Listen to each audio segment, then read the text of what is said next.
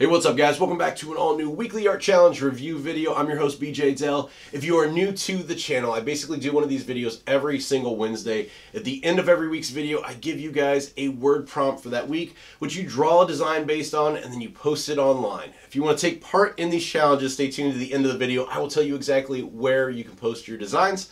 Then the following week, I take a handful of the submissions and do a review video like the one you are watching now. If you're a return viewer to the channel, you might notice all this looks a lot different. I redid my studio, so stay tuned. I will eventually do a new kind of studio tour video for you, but last week's word was pig, so let's see what you guys came up with.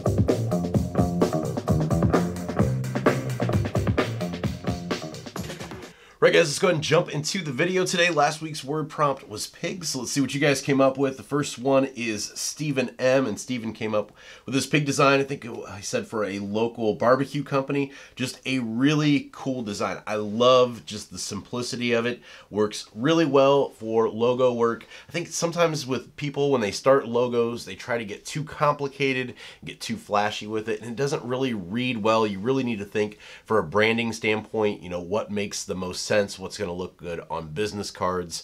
Uh, in this case, like napkins, cups, what have you. And I think this one is a really strong logo. Uh, and he actually posted this. He used the uh, golden ratio to do this. So I'm not going to get really super detailed and deep into the golden ratio. That could be a whole nother video itself. But uh, honestly, if you guys are kind of struggling with designs and, and wondering how to make more interesting designs uh, and stuff like that, some of the principles behind design work, uh, Stephen used this to come up with a fantastic logo. So definitely check it out, do some more reading, uh, look up the, the golden ratio, also the Fibonacci spiral, and you will kind of have a little bit better understanding of everything that Stephen did here to achieve just a really fantastic design. So a great job, Stephen. Thanks so much for sharing that this week. Uh, next up is Nikki C. And Nikki made this one.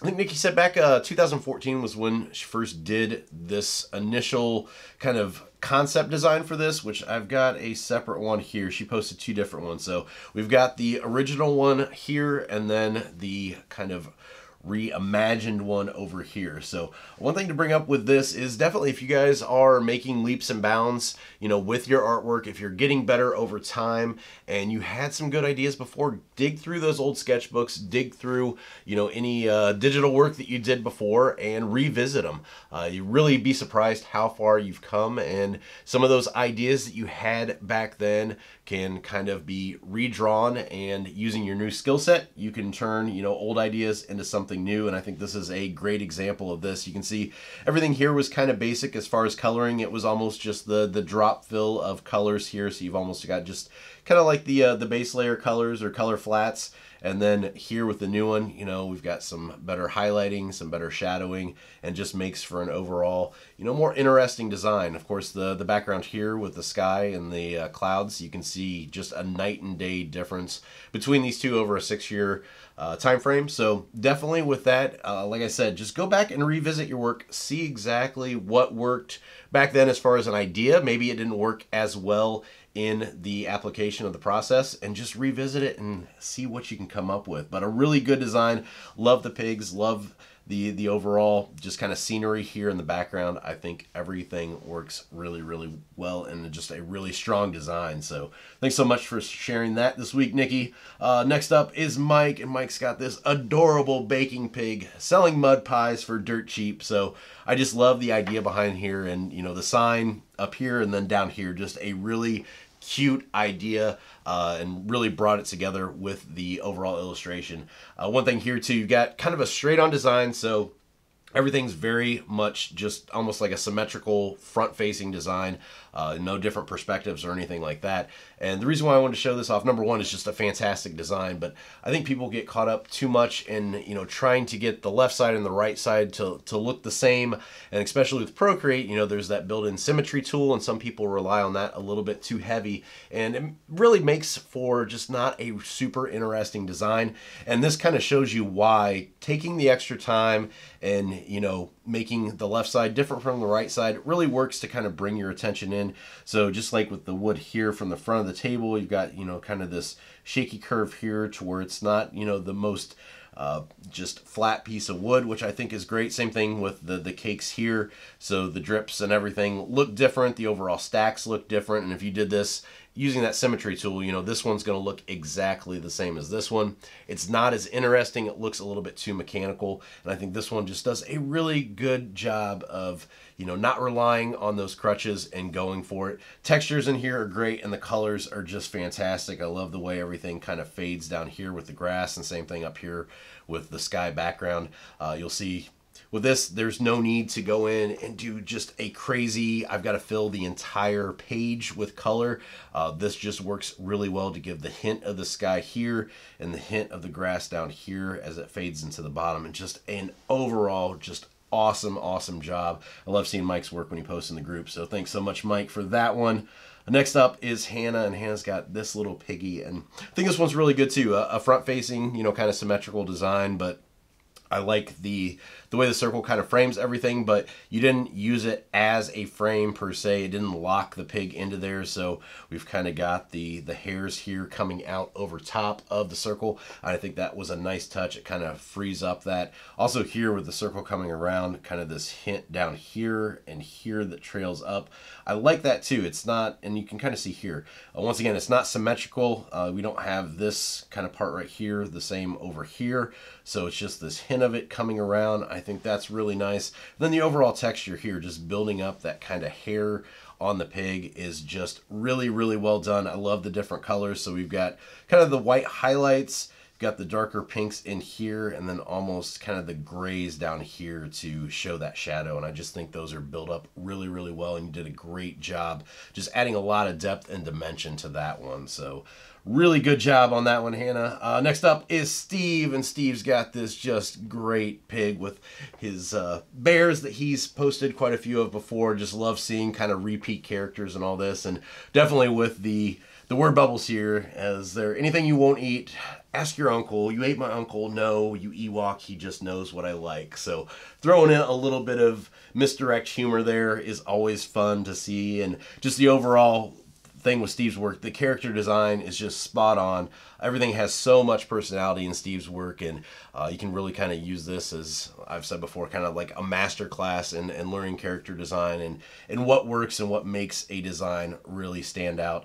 Uh, like to here, same thing with the background, like with Mike's. Didn't go too crazy with the background. There's a hint of color there, but you know, it wasn't done just to fill in extra stuff to make it feel finished and kind of like that. It doesn't detract from the overall design, which is just really cool. And uh, once again, with having multiple characters in here, they've all got different expressions, so they're definitely giving off their own personalities. It's not the same character over and over again, and they all kind of speak different. They have that different feel to them. So just a fantastic job, Steve.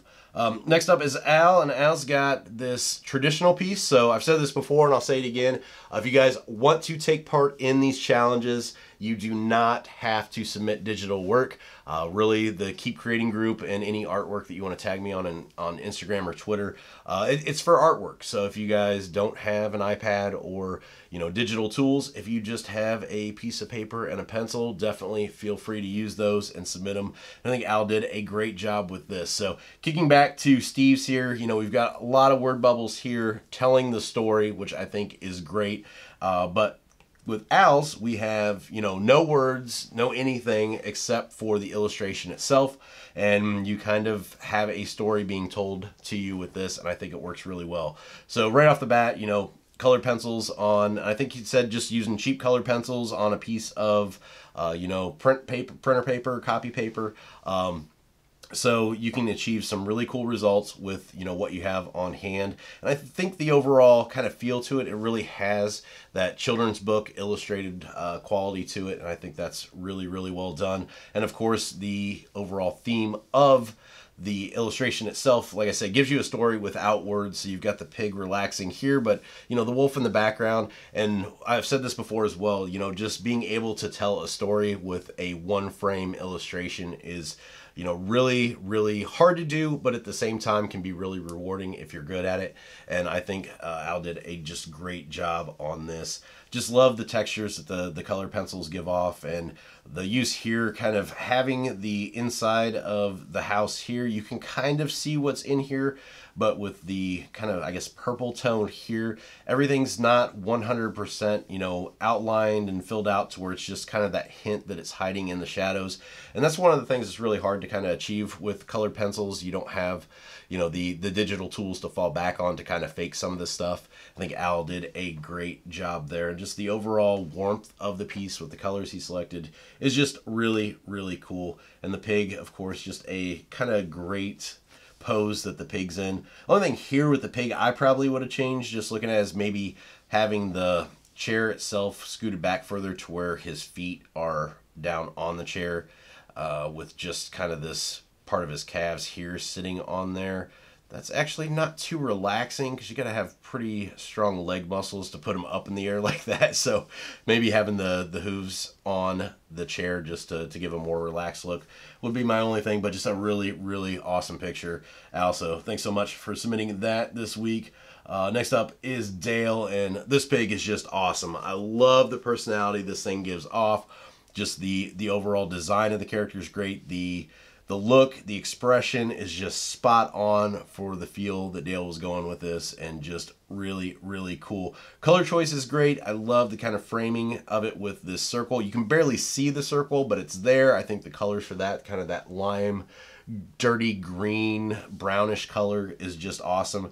And then kind of the, the slime and snot dripping off of him here. The fact that you didn't outline that and just went with, you know, a white dropped the opacity but had it over top of the other layers so they kind of show through there was just a really wise design choice. And same thing here with the drips coming down from the pig here. I love that these are a lighter color than the actual body parts here and it kind of flows down without being outlined. I think once again was just a really really good design choice. So really good stuff and if anybody is on Instagram uh, Dale's Instagram handle is Dale, P O R T E O U S. So definitely check out Dale on Instagram. He's got some awesome stuff. So sure to hop over and give him some love. Next up is Kerri. And once again, traditional piece. So, like I said, if you guys don't have the digital tools, share the traditional stuff. And this one's just really fantastic. Once again, colored pencils, uh, kind of using an old, whole sepia tone with this, I think is really cool. And just the overall design, once again, with this, great character design. Love it. Uh, and just goes to show you, you know, using uh, different te techniques as far as uh, pressure and how hard you're pushing down on the pencil, uh, that you can get all these different tones. I'm assuming this is probably from one, maybe two different, probably two different um, pencils. Might be just from one, but uh, just, you know, goes to show you as far as much like with digital work um, and why I love Procreate that, you know, you can get different line weights by pressing, you know, different levels of pressure on the the screen of the iPad. Same thing here. I, you know, you got to learn if, if moving over to digital is like your uh, fix it for everything. It's not really going to work that way because a lot of the techniques from traditional then relate over to digital because of the pressure sensitivity that you get. Uh, so, you know, using traditional and finding out how hard you have to press here and the shading techniques, those are going to help you once you move over to, to uh, digital. So I know a lot of people feel that they're kind of being held back because they don't have the digital tools, but really the, the more, I guess, solid you are in your foundations with using traditional tools, the better you're going to be once you move over to, to digital. And even then, there's still a learning curve once you hit digital. So just seeing work like this is just really, really fantastic. And like I said, I just love the, the value uh, shifts here with the technique used with the color pencil is just a phenomenal job. And just the outfit here for the warrior pig is just 100% just awesome. So fantastic job, Kerri. Thanks for sharing that this week. Uh, next up is Kevin, and Kevin's got this pig kind of playing in the mud bath here. I know Kevin said he kind of struggles with textures and um, or more with shadows and highlights and we'll talk about that for a little bit here so once again whenever you start to add in shadows and highlights you really want to you know first and foremost determine where your light source is coming from. So here we've got the kind of highlights on this side. So basically we know light source is coming in from this top right hand corner so that pretty much locks that in. Uh, one thing to kind of remember when you are doing shadows and highlights, and we talked about this last week with, uh, you know, keeping the same techniques used throughout the piece and not having too many different styles going on.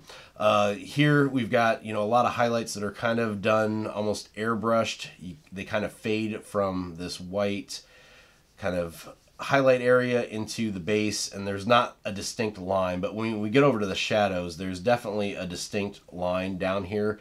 Uh, so I probably would have with this maybe faded in the shadows over here a little bit to match the highlights or vice versa made the highlights over here just a little bit more lined or harsh just to match up from the left to the right. Uh, likewise we've got the like I said the light source coming from here. So the shadow here I mean, is correct as far as where the shadow's at, where it falls, but you also have a shadow on this side. And this is where the light's coming in from, so we're not going to have a shadow on there. Uh, went really hard as far as doing shadows throughout the mud here, but didn't do any highlights over here to kind of show that we've got that light source coming in. So uh, the mud actually looks a little bit flat because of that. Um, assuming these maybe bubbles, I'm not sure. They're kind of big for bubbles if that's what you're going for. This one especially has kind of like a curve to it. I would have, let me drop my size here. Would have gone with a, uh, just a little bit more round and something like this. Kind of done them, you know, over. And then you can even, when you're doing mud and stuff like that, even have like a section like this to where it's like the cutout and it's kind of not solid and you've got it kind of see through there. That adds a little bit more, I guess, uh, character to the mud itself.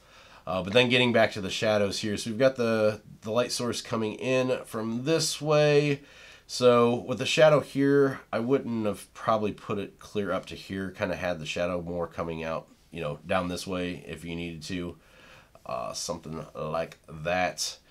And that would give you a little bit more direction from the light source as far as believability goes. Uh, and then here going into the background, once again, like I talked with the, the previous ones of uh, not, you know, having a background thrown in just because you needed a background thrown in.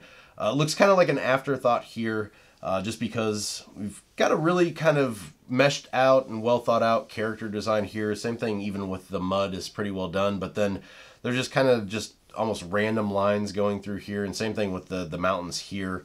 Just really just not well thought out and just kind of looks like let's just throw these in there to have something. Um, and definitely looks a little bit plain because once again here there's absolutely nothing going on in the sky. There's no change in uh, you know value from one side to the next. You could throw some clouds in here if you wanted to or even if you didn't want to do that you know you could have just kind of different blues fading in and out. And same thing here with the mountains, you know, having some, some highlights up here towards the top, uh, maybe some shadows, you know, down back here to, to kind of give those a little bit more dimension. So I'd say definitely next time try to, to work on the backgrounds. If you decide to do a background, kind of flesh those out just a little bit more and pay a little bit more attention to, you know, kind of making those uh, tie into the overall design. And definitely too with this, I would say look into different color palettes. Uh, the, the greens here with the mountains into the green here and then this just solid blue. It's a really kind of dark blue. Uh, so definitely check into, you know, finding complementary colors and what colors work well when they're butted up against other colors because these greens just look pretty off between those. So, uh, but a really good start. Can't wait to see more of your stuff, Kevin. So thanks for submitting that this week. Uh, next up is Ryan, and Ryan's got this Motor Hog, no bacon design, kind of a parody based on the Motorhead logo. Uh, so this one really cool. Love the idea and going off on the, the parody route with this is really neat. Uh, definitely, if you guys watch my previous videos and uh, are thinking or starting to get into merch by Amazon, uh, doing t-shirts and stickers and stuff, um, of course, stickers not through merch, but uh, stickers through like Redbubble or, or wherever. Uh, definitely kind of understand where merch stands on this stuff. Merch would not like this. Uh, Amazon doesn't play well with parody, uh, even if it's like a gray area. So definitely stay away from that. But I like the design. I like the the thought behind it. Definitely cool. Uh, the overall pig design really cool. Ties into you know the same look of the classic Motorhead logo. Uh, a couple things here. Definitely watch out when you're putting your stuff against a black background. Uh, what it's going to do to some of your lines. So there's a lot of, of different kind of widths to this chain here because you can't see the black line over here. So these kind of change in size around here. And then definitely here's the biggest thing to really be careful of.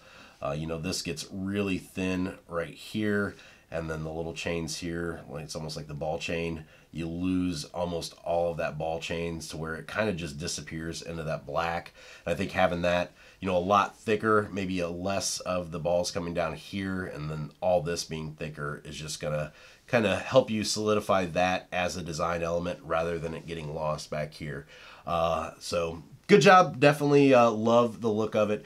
This, I'm not sure if it was done with Procreate, so I'm going to use this as a Procreate kind of uh, tutorial. So if it wasn't done with Procreate, uh, I apologize, but I think it was, and here's why. So we've got the Motorhog kind of logo text here. You can see it's really, really blurry compared to the main design. So one thing with Procreate, Procreate of course is a raster-based program, but despite it being a raster-based program, anytime that you bring in an element and start to resize and move around, as soon as, let's do this here, as soon as you move it around and resize it, and then you move it around and resize it again, so on and so forth.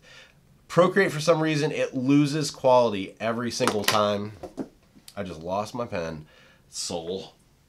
This is the second time I've thrown my pencil in these videos. Hold on. I'm not even going to cut this out. I'm just going to crawl underneath my table. I'm going to get said pencil, and I'm going to come back up. All right.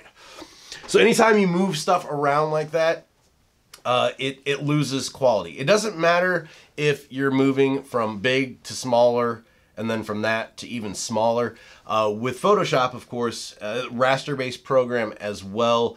Uh, it does have, you know, some vector-based stuff that you can do, but by essence, Photoshop's a, a raster-based program. And as long as you're in Photoshop and you're moving from big to small and you don't take anything small, move it to big, you don't have this problem.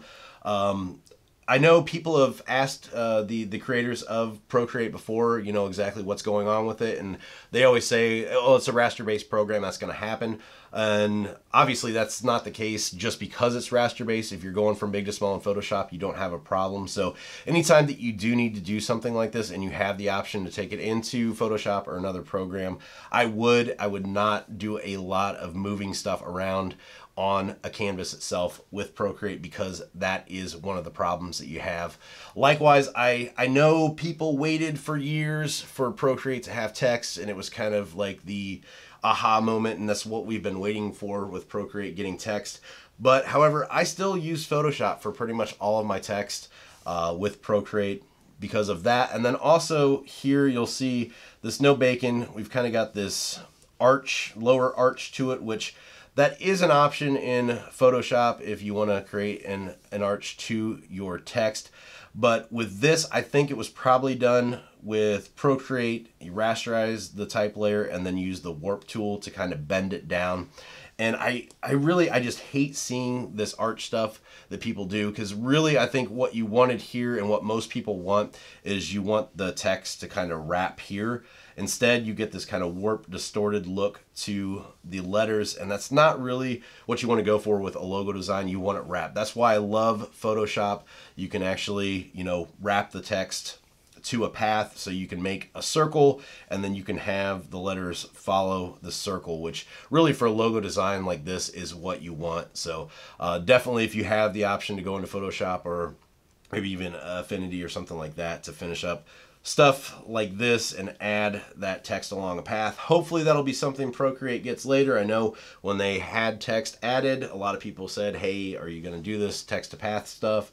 And it's a possibility, I'm sure, in the future. It just doesn't exist right now. But really cool design. That's my rant on Procreate and moving stuff around. So hopefully that helped.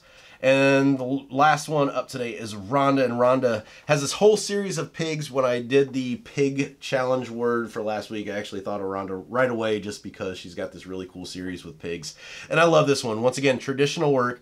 Uh, so acrylics on a canvas board. And I love, you know, when you paint like this, you can see the texture. And I, I think that's coming up in the video. You can actually see the texture of the canvas this was painted on. So I love that.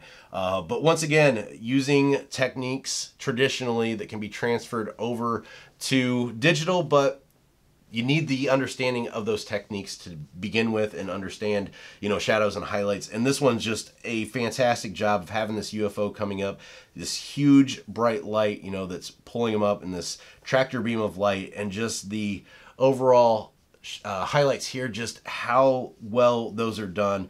It really makes you believe that you've got this just massive amount of light coming out of the spaceship here. And those highlights are just done so well. They're placed perfectly. The amount of highlight against the base color is just awesome. And you can see here, they're really thick up here. You've got kind of hints down here and it just works. And it's so, so believable and so realistic. Just a really fantastic job of highlighting. So I wanted to showcase that one and the color palette too on this one is just fantastic. And that is it for this week's weekly art challenge word, pig. Alright guys, that's it for this week's video. As always, thank you for watching. I appreciate it. Special thanks goes out to everyone that submitted designs this week. Seems like more and more people are taking part in these challenges, and I really love to see your work, so thanks so much.